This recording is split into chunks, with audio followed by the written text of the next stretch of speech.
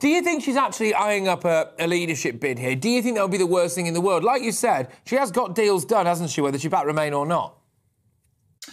Well, look, with, as with anything else in, in politics in the world, uh, words are one thing, actions quite another. I mean, let's just assess where we are in terms of the UK's relationship with the EU, because of course we've seen the ongoing negotiations with the EU. It feels like they go on and on and on, doesn't it? And Lord Frost, as you said, Frosty the No Man, well, sadly, he's melted. He's no longer there. He is someone, I think, who had a lot of respect uh, from Brexiteers, and rightly so. I tell you this, Patrick.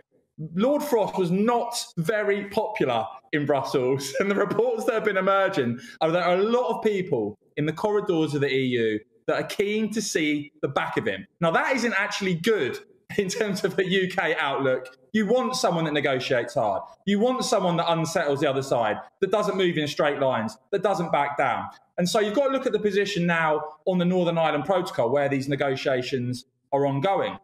We know uh, there's been talk for a long time now about triggering Article 16. Boris Johnson, the Prime Minister, Lord Frost himself have both said the conditions for triggering Article 16 have been met. It hasn't been done.